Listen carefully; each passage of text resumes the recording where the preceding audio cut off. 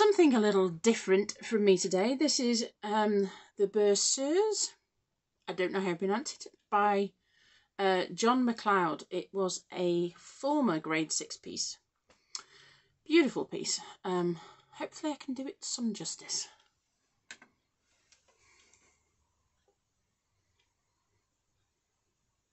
One and uh, two.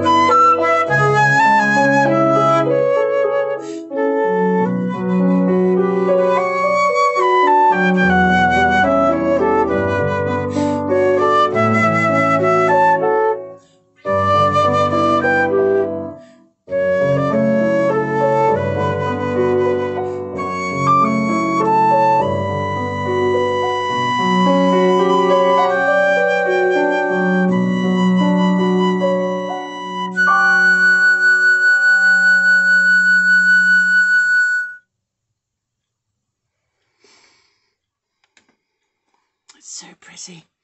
Needs work, but it's so pretty. Very, very nice. I must have a look at the other things that he's done. I hope you enjoyed that. Thanks for watching.